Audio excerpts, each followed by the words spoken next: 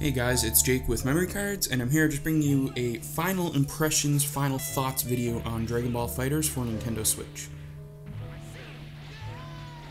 So this game just released last Friday, uh, and I was really excited for it. I was really looking forward to it. Um, I don't have a PS4 anymore because I gave it to my brother, and I was really missing playing Dragon Ball FighterZ. As said in my previous video, I put about 50 hours into the game on PS4, and I would not consider myself a good fighting game player, like whatsoever. Uh, this seems to be the only fighting game that I've ever really put any amount of time into to try and better myself, and I was just plain looking forward to this on the Switch. So, how does it run on the Switch? Uh, it runs almost near identical. There are a few things that are a little bit different, such as the backgrounds being a little bit lower res, lower texture, but everything else seems to be up to snuff. I have seen and heard reports of frame drops, you know, the game dropping from 60 to around 53, but I personally myself haven't noticed that while playing the game. Alongside the menial changes that they've made to the backgrounds, the loading times in the game can seem a little hectic, as I said, I don't have my PS4 side by side to do a reference, but I don't ever recall the loading times being this long. Sometimes it takes almost 30, 40 seconds to load into the initial game, and once you're there, load times for maps and load times for matches, rather, don't really take anywhere near as long as that. One thing that annoys me a little bit about this game is that it has a simple control mode. And while that in itself isn't inherently bad, the way that it's implemented, I think, is pretty lackluster.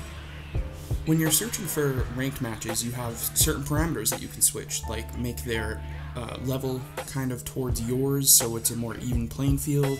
You can have it so the connection will be based around people that are closer to you and whatnot. And sadly, as far as I can tell, there's no way to just fully opt out of playing against people who are using simple controls. You can, however, when you get a match uh, ready, see if they're using simple controls by a little green logo in the top near their name.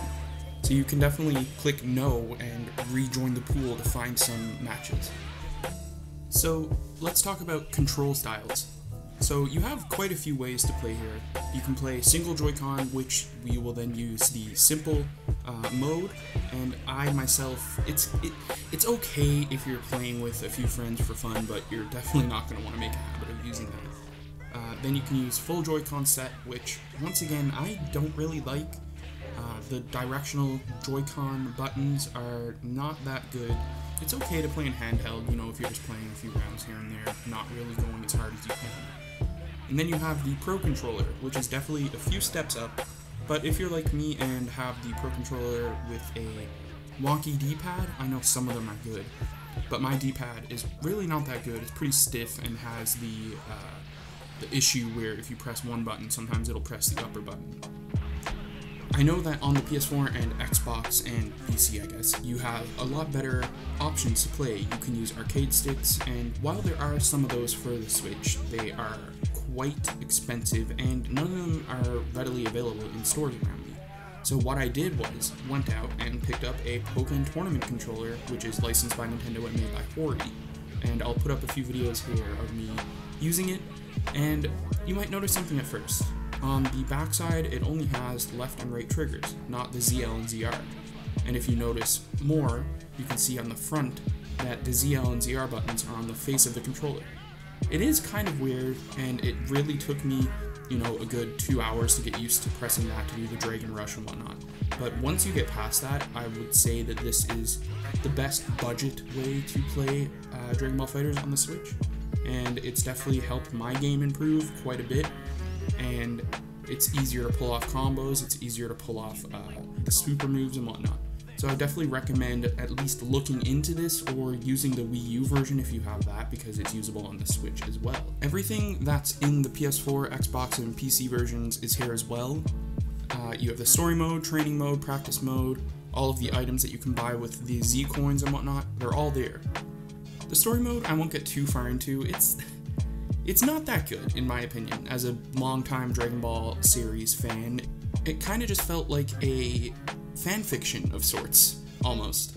Uh, the only reason why I initially played through it was so I can unlock Android 21, the new character. So, with everything basically being on par with the PS4, Xbox, and PC versions, there's not really much here to say. It's not like the game has been reworked from the ground up, it's not like it has any crazy additions for the Switch. It's just a well done, competent port. It's, it runs perfectly, it runs as you would imagine. Sure, the loading times can take a little while and they can be a little annoying, but I have faith that that'll be patched out in the future because once you're past the initial load, it doesn't really take that long to do anything else. So, did you pick up Dragon Ball FighterZ on Switch? Are you going to pick it up? Let us know in the comments down below. If you have any questions or concerns about the game, please let us know and we'll do our best to answer them in depth. So, thank you very much, and we will see you guys soon.